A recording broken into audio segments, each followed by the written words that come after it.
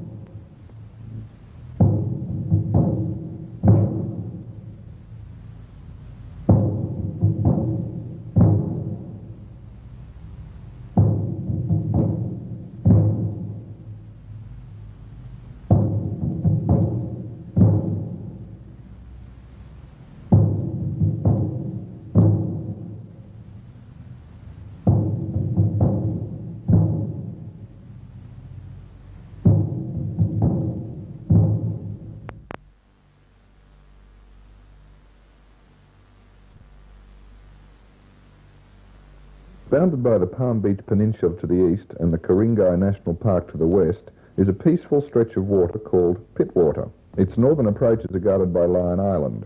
Only a few miles north of Sydney by road, it is a safe area for many small craft that use these quiet waters. Church Point is situated at its lower end, and here a large marina supplies the needs of boat owners and mooring facilities for many of the larger vessels. Church Point reflects opulence and wealth, and yet not far from the marina, tied to a rotting wharf, is an ancient boat. Ugly in appearance, she is in stark contrast to her surroundings. Here, split and broken timber show the ravages of time that not even the many coats of paint she has received can disguise. She fights an endless battle against rust and corrosion.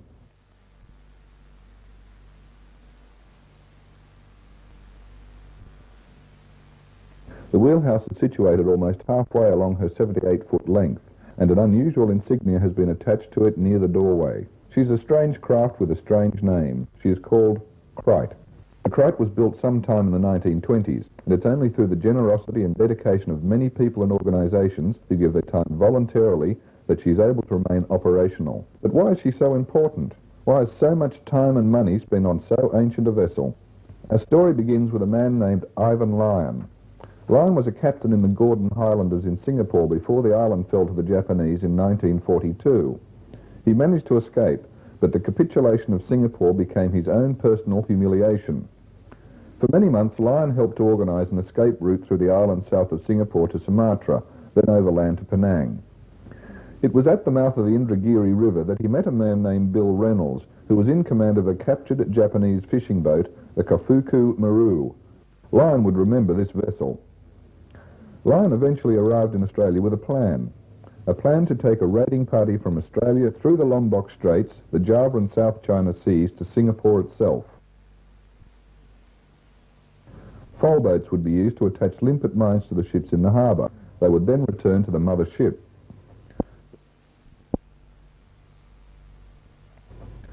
But there was little interest in Lyon or his plans until Lord Gowrie, Governor-General of Australia heard about it. He liked the idea and passed it on to General Blamey, who gave his approval for the raid to go ahead. Operation Jaywick had been born. Lyon's first requirement was a boat, and he wanted the Kofuku Maru.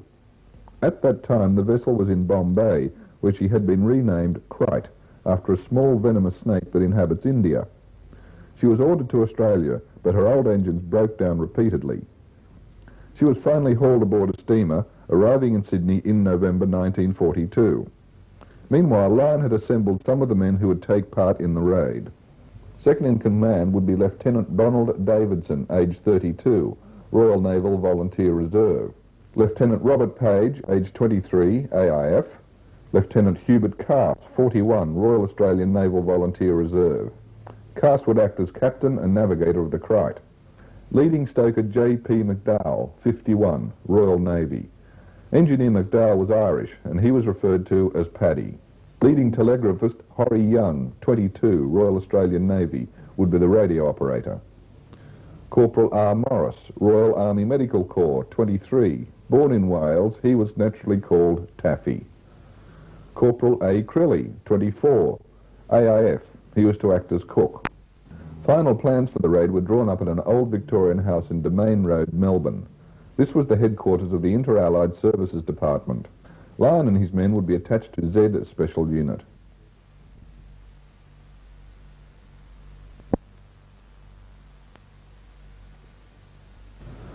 Volunteers were called for to make up the remainder of the party.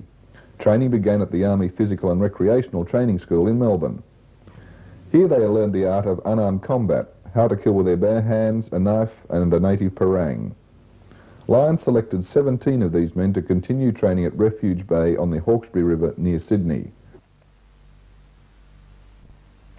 Refuge Bay was a remote area with a tiny beach. Its only access was by boat.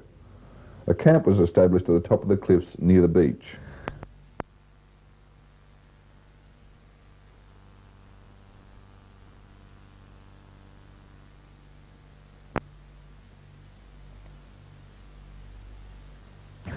Here they learned to scale cliffs, to read maps and compasses. But most of their training was with the strange foal boats that would be used in the actual attack. They learned to handle the craft night and day and to paddle noiselessly in water smooth and rough. It was an 18-hour day, every day. From these men, Lyon and Davidson made their final choice. Each man was a member of the Royal Australian Navy. Leading seaman K. Cain, 27. Able seaman Walter Falls, 21. Able Seaman F. Marsh, 18. Able Seaman M. Berryman, 18. Able Seaman A. Jones, 21. And the youngest of the party, A. Houston, aged 17. He was usually called Happy, as he rarely smiled. Such were the 14 men who made up the Jaywick party. On January 18, 1943, the Krait left Refuge Bay on the first leg of her voyage to Cairns, but her old engine was worn out, breaking down six times before finally being towed into Townsville and then to Cairns. Unless another engine could be found for the Krait, the raid would be cancelled. A new Gardner diesel was located in Hobart, Tasmania, and was quickly flown to Cairns and fitted into the Krait. It was here that Lyon, Davidson, Page and Carse joined the Krait. They had completed their training at Z Experimental Station, better known as the House on the Hill. On 9th of August 1943, the Krait left Cairns to begin the next stage of her journey, the two and a half thousand miles to Exmouth Gulf. There was little for the men to do now. Their only entertainment was from Young's Air Force transceiver radio.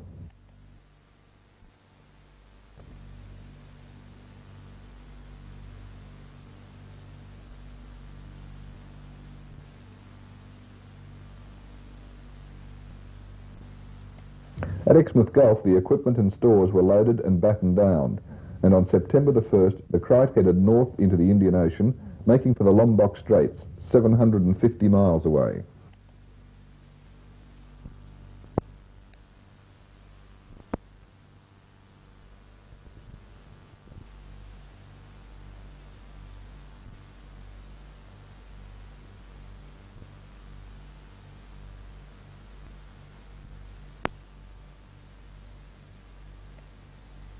As they neared Lombok Straits between the islands of Bali and Lombok, Lyon ordered the men to stain their bodies and wear the native sarongs that had been provided at Exmouth Gulf. Then the blue ensign was lowered and the flag of the Japanese Empire raised on the Krait's stern. To all intents and purposes, the Krait was now a harmless native fishing boat. On the night of 7th September, the Krait closed on Lombok, but her top speed of six and a half knots barely made headway against the tide racing out from the Bali Sea. Lyon had hoped to clear Lombok well before daybreak, but dawn was upon them before they cleared the straits. Early fishermen could be seen near the shore of Bali.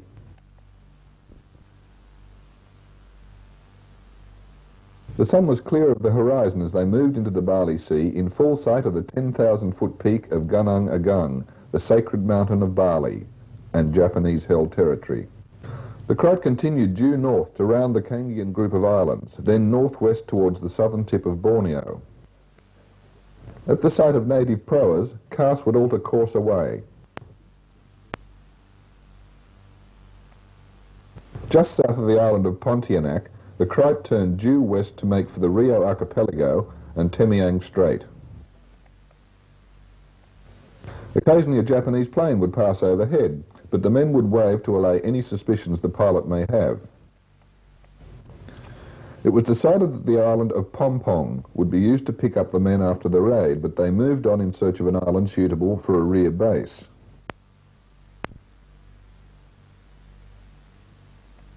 They decided on Panjang, which had a tiny beach perfect for their purpose. They were now within 40 miles of Singapore.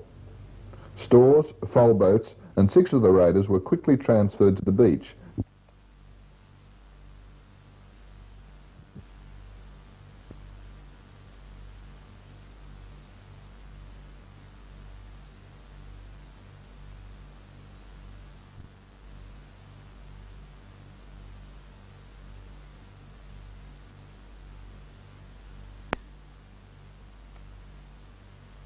The Krait turned away. She would cruise the islands for two weeks before returning to Pompong to pick up the raiding party. For Carse and the remainder of the men of the Krait, the waiting would be the hardest part, as Carse was to note in the logbook. Resting by day and travelling by night, the three foalboat crews began their island hopping journey to Singapore.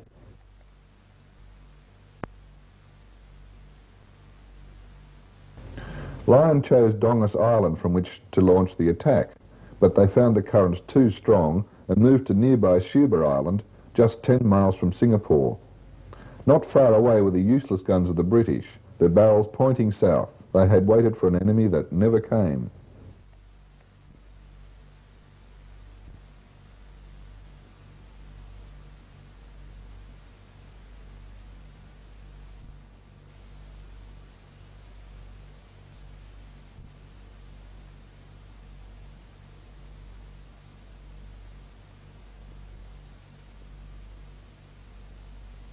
Two foalboats manned by Page and Jones, Lyon and Houston would head for the ships in the examination anchorage in Buchan Island.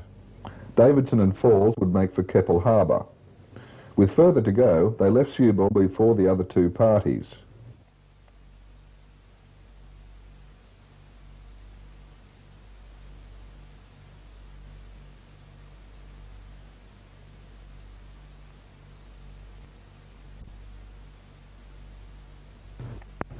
Reaching the Empire Dock, Davidson and Falls moved silently alongside the wharves, but there was no large ships there or in Keppel Harbour. They turned back and moved towards the outer roads. There was no lack of targets here.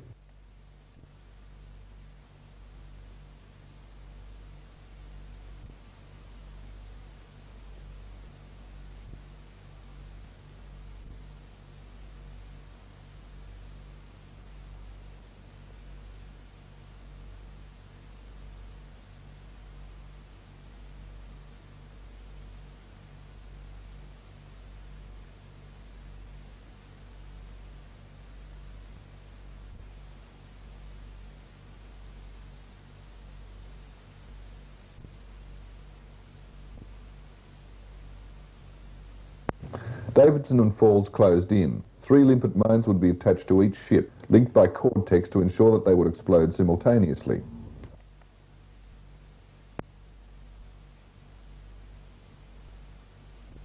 They worked in silence, completely unobserved in the darkness.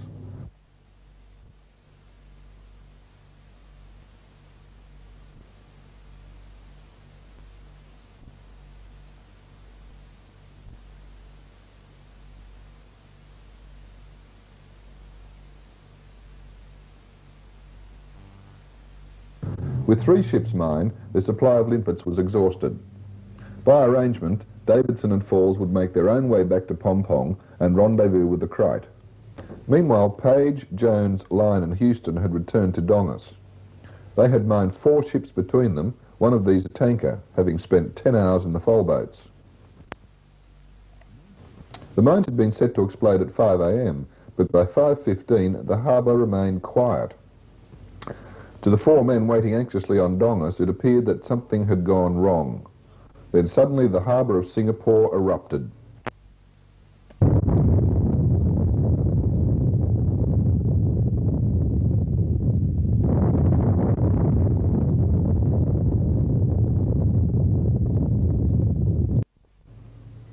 Thousands of war prisoners in Changi heard the explosions. They were never told by their captors what had happened, but obviously the Japanese were angry, as the meagre food ration was cut in half. By mid-morning, a thick pall of smoke hung over the harbour, but the raiders had moved to the other side of Dongas Island and were resting in readiness for their journey back to the Krait. They had damaged or sunk seven ships, a total of almost 40,000 tons. While the Japanese concentrated their search for the raiders in the Malacca Straits, believing the raid had been launched from India, the four men headed south.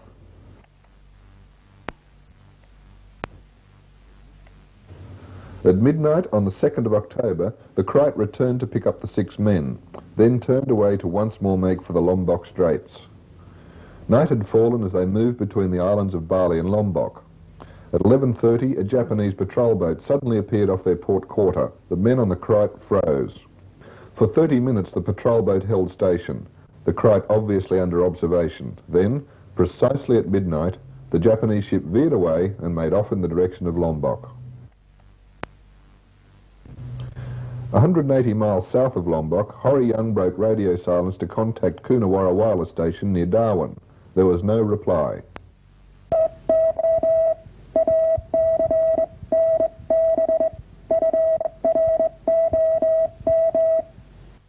Two days later, Young made contact with Fremantle.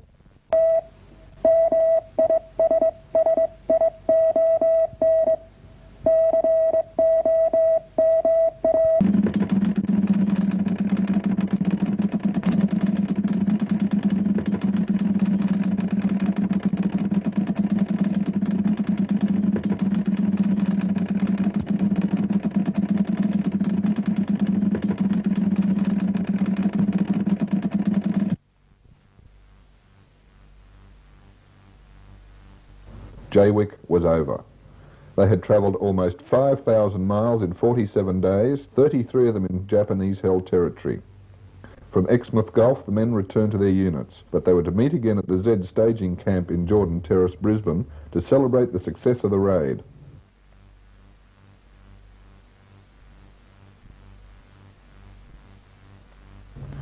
But the sound of Jaywick had barely faded before Ivan Lyon began to plan his second raid against Singapore.